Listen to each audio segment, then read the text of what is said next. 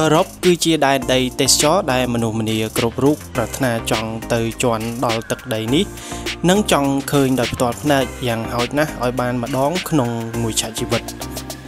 ហើយបើនិយាយអំពីទ្វីបអឺរ៉ុបវិញនៅក្នុងទ្វីបអឺរ៉ុបទាំងមូលគឺពិតជាធំខ្លាំងណាស់ដែលសម្រាប់ទ្វីបអឺរ៉ុបមួយនេះគឺមានប្រទេសរហូតដល់ជាង40ប្រទេសស្ថិតនៅ ទោះបីជាមនុស្សជាច្រើន តែងតែមានបំណងប្រាថ្នាចង់ទៅស្គាល់ទ្វីបអឺរ៉ុបក៏ដោយប៉ុន្តែលោកអ្នកធ្លាប់បានដឹងអំពីរឿងអ្វីខ្លះសម្រាប់ការធ្វើដំណើរទៅកាន់ទ្វីបអឺរ៉ុបថ្ងៃនេះខ្ញុំនឹងបង្ហាញលោកអ្នកអំពីរឿងសំខាន់មួយដែលលោកអ្នកចាំបាច់ត្រូវតែដឹងមុនពេលដែលលោកអ្នកឈានជើងធ្វើដំណើរកំសាន្តទៅកាន់តំបន់ទ្វីបអឺរ៉ុបទាំងមូលក៏ដូចជាតំបន់នៃសមាគមអឺរ៉ុប បើនិយាយនឹងរំលឹកទៅដល់អឺរ៉ុបលោកអ្នកប្រកាសជាស្គាល់នៅឈ្មោះទីក្រុងប៉ារីសនៃប្រទេសបារាំងដ៏ល្បីហើយក៏ជាគោលដៅទេសចរក្នុងក្តីប្រាថ្នារបស់មនុស្សគ្រប់រូបផងដែរមុននឹងចូលលំអិតទៅដល់រឿងសំខាន់ដែលលោកអ្នកដឹងត្រូវដឹងមុននឹងធ្វើដំណើរទៅប្រទេសអឺរ៉ុបខ្ញុំនឹងបង្ហាញលោកអ្នកឲ្យដឹងនិងយល់អំពីពាក្យថាទ្វីបអឺរ៉ុបនិងសមាគមអឺរ៉ុប ថ្មីពិតតែនៅទ្វីបអឺរ៉ុបមានជាង40ប្រទេសស្ថិតនៅប៉ុន្តែប្រទេសក្នុងចំណោមជាង40ប្រទេសទាំងអស់នេះមិនស្ថិតនៅក្នុងសមាជិកនៃសហភាពអឺរ៉ុបទាំងអស់នោះទេ ដែលនៅក្នុងនោះសមាជិកនៃប្រទេសសហភាពអឺរ៉ុបគឺមានចំនួនតែ27ប្រទេសប៉ុណ្ណោះនេះពេលសប្តាហ៍ថ្ងៃហើយប្រទេសភាគច្រើនទាំងអស់នៅក្នុងទ្វីបអឺរ៉ុបនិងសមាជិកសហភាពអឺរ៉ុបទាំងអស់ភាគច្រើនគឺប្រើរូបិយប័ណ្ណ អេរ៉ូហើយមានប្រទេសមួយចំនួនទៀតគឺប្រើរូបិយប័ណ្ណខុសពីប្រភេទក្រដាសប្រាក់អេរ៉ូចំពោះប្រទេសដែលស្ថិតនៅក្នុងសមាជិកនៃសហភាពអឺរ៉ុបទាំងអស់គឺសុទ្ធសឹងតែជាប្រទេសដែលពេញនិយមនិងជាគោលដៅទេសចរដែលស្ថិតនៅក្នុងក្តីស្រមៃរបស់មនុស្សម្នាទូទៅ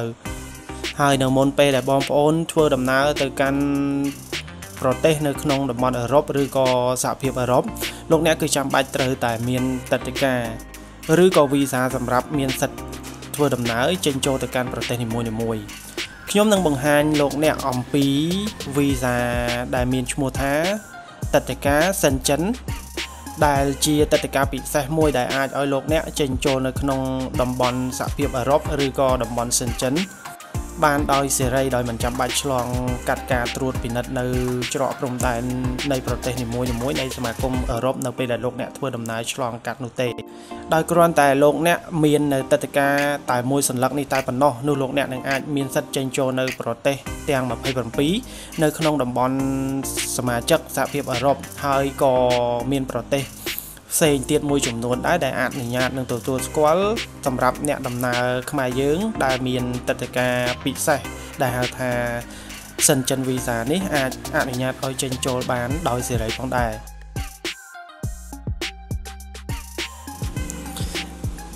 ពាក្យថា Shenzhen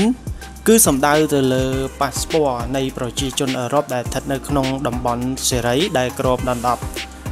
ទៅលើប្រទេសនៃតំបន់អឺរ៉ុប វាគឺជាតំបន់ធ្វើដំណើរដោយសេរីដ៏ធំបំផុត នៅក្នុងពិភពលោក ចំណែកឯ Shenzhen Visa ឬក៏តេតកា Shenzhen វិញ គឺ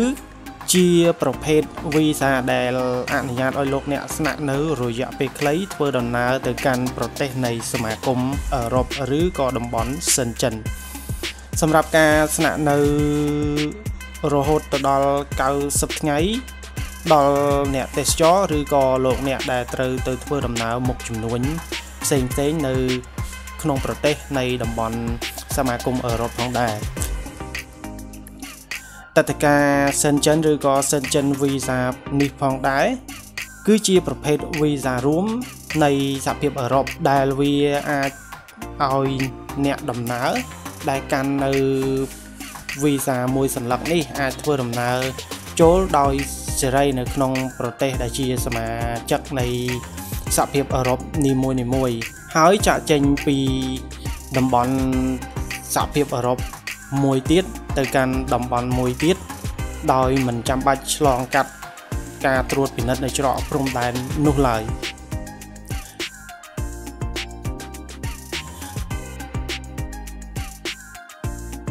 ប្រសិនបើលោកអ្នកមានបំណងទៅសិក្សា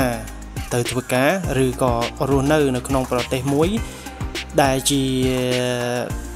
ប្រទេសស្ថិតក្នុងតំបន់សិនចិននៃសមាគមអឺរ៉ុបច្រើនជាងរយៈពេល90ថ្ងៃលោកអ្នកចាំបាច់ត្រូវតែស្នើសុំទឹកតការនៅក្នុងស្ថានទូតរបស់ប្រទេសមួយនោះដែលលោកអ្នកក្រងនឹងចុះទៅដល់ដំបូងគេ ចំពោះការធ្វើដំណើរកំសាន្តទៅកាន់សហភាពអឺរ៉ុបឬក៏ប្រទេសនៅក្នុងទ្វីបអឺរ៉ុបលោកអ្នកចាំបាច់ត្រូវតែស្នើសុំទឹកតការជាមុនមុនពេលដែលលោកអ្នកឈានជើងចូលទៅដល់ប្រទេសនីមួយនីមួយហើយចំពោះឯកសារតម្រូវការគឺទៀមទាខុសគ្នានិងលក្ខខណ្ឌខុសគ្នាទៅតាមស្ថានទូតនីមួយៗដែលលោកអ្នកត្រូវស្នើយក ថ្មីត្បិតតែប្រភេទទឹកតការនៅតំបន់អឺរ៉ុបអាចលយឲ្យលោកអ្នកចេញចូលសេរីនៅក្នុងតំបន់នៃសមាជិកសហភាពអឺរ៉ុបក៏ពិតមែនប៉ុន្តែប្រទេសដែលលោកអ្នកអាចឈានជើងចុះទៅដល់មុនគេ គឺជាប្រទេសដែលលោកអ្នកស្នើសុំទឹកតការនៅក្នុងស្ថានទូតឬមួយក៏ជាប្រទេសដែលចេញទឹកតការឲ្យលោកអ្នកវាគឺជាប្រទេសទី1ដែលលោកអ្នកអាចមានសិទ្ធិចុះទៅដល់មុនគេ ឧទាហរណ៍ប្រសិនបើលោកអ្នកស្នើសុំទឹកតការនៅក្នុងស្ថានទូតបារាំងនោះប្រទេសទី1ដែលលោកអ្នកអាចមានសិទ្ធិចុះទៅមុនគេគឺត្រូវតែជាប្រទេសបារាំងมันអាចជាប្រទេសណាមួយផ្សេងពីបារាំងនោះទេមកដល់ត្រង់ចំណុចនេះខ្ញុំនឹងបង្ហាញលោកអ្នកអំពីថាតើនៅពេលដែលលោកអ្នកមាន វីសាដែលចេញដោយ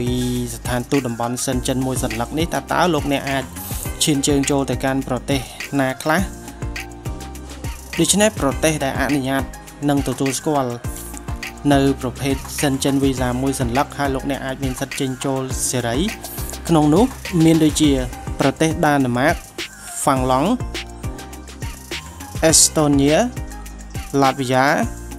លីតូយ៉ានី ប្រទេសស៊ុយអែត ប៉ូឡូញអាល្លឺម៉ង់ប្រទេសបែលហ្សិកលិចតែនស្តែនសាធារណរដ្ឋឆែកស្លូវ៉ាគី ប្រទេសហុងគារីអូទ្រីសប្រទេសបារាំងអ៊ីតាលីអេស្ប៉ាញប៉ូទុយហ្គាល់ប្រទេសក្រិកម៉ាល់តា ប្រទេសលុចសំបួរ ប្រទេសហូឡង់ក្នុងនោះក៏មានប្រទេស មួយចំនួនដែរដែលស្ថិតនៅក្នុងសមាគមនៃសហភាពអឺរ៉ុបប៉ុន្តែលោកអ្នកមិនអាចមានសិទ្ធិចេញចូលបាននោះទេទោះបីជាមានលោកអ្នកមាននៅទឹកតការប្រភេទសិនចិននេះក៏ដោយដែលប្រទេសទាំងអស់នោះ មានដូចជាប្រទេសរ៉ូម៉ានីប៊ុលហ្គារីក្រូតៃប្រទេសអ៊ីឡង់និងប្រទេសសៃប្រុសហើយចំណែកឯប្រទេសខ្លះទៀត ដែលមិនស្ថិតនៅក្នុងសមាគមនៃតំបន់សហភាពអឺរ៉ុបនោះទេប៉ុន្តែទទួលស្គាល់នៅប្រភេទទឹកដីកាដែលចេញដោយសមាគមសហភាពអឺរ៉ុបក្នុងនោះមានដូចជាប្រទេស Norway, Iceland និង Switzerland ដូច្នេះមុនពេលដែលលោកអ្នកត្រៀមខ្លួនធ្វើដំណើរកម្សាន្តទៅកនទៅកាន់តំបន់សហភាពអឺរ៉ុបលោកអ្នកត្រូវតែដឹងរឿងចាំបាច់មួយនេះ ជាមុនជៀសវាងមានការភ័ន្តច្រឡំឬធ្វើដំណើរទៅកាន់តំបន់ខុសទីតាំងដែលមិនអនុញ្ញាតនិងមិនទទួលស្គាល់នៅប្រភេទទឹកដីកាវីសាសិនចិននេះបើសិនបើលោកអ្នកចូលទៅកាន់តំបន់សិនចិនរួចហើយលោកអ្នកធ្វើដំណើរចេញផុតពីតំបន់សិនចិនលោកលោកអ្នកមិនអាចមានសិទ្ធិត្រឡប់ចូលទៅវិញនោះទេ ចំណែកឯសុពលភាពចំពោះវីសាប្រភេទនេះវិញគឺអនុញ្ញាតឲ្យអ្នកដំណើរដែលកាន់ទឹកដីកាប្រភេទនេះ ចូលទៅកាន់តំបន់នៃសមាគមអឺរ៉ុបអាចស្នាក់នៅបានរហូតទៅដល់រយៈពេលពី90ទៅ180ថ្ងៃគឺស្មើនឹងចាប់ពី3ខែរហូតទៅដល់6ខែបន្ទាប់ពីពួកគេធ្វើដំណើរចូលទៅដល់ថ្ងៃដំបូងដូច្នេះចំពោះការលម្អិតអំពីរឿងសំខាន់ដែលលោកអ្នកចាំបាច់ត្រូវតែដឹង មុនពេលដែលលោកអ្នកធ្វើដំណើរកំសាន្តទៅកាន់តំបន់នៅទ្វីបអឺរ៉ុបក៏ដូចជាសមាគមអឺរ៉ុបដែលខ្ញុំបានបានបង្ហាញនៅពេលនេះសូមបញ្ចប់ត្រឹមតែប៉ុណ្ណេះអរគុណសម្រាប់ការទស្សនារបស់លោកអ្នកសូមកុំភ្លេចចុច Subscribe នៅលើ Channel YouTube របស់ខ្ញុំនិង follow page Facebook របស់ខ្ញុំដើម្បីទទួលបានវីដេអូ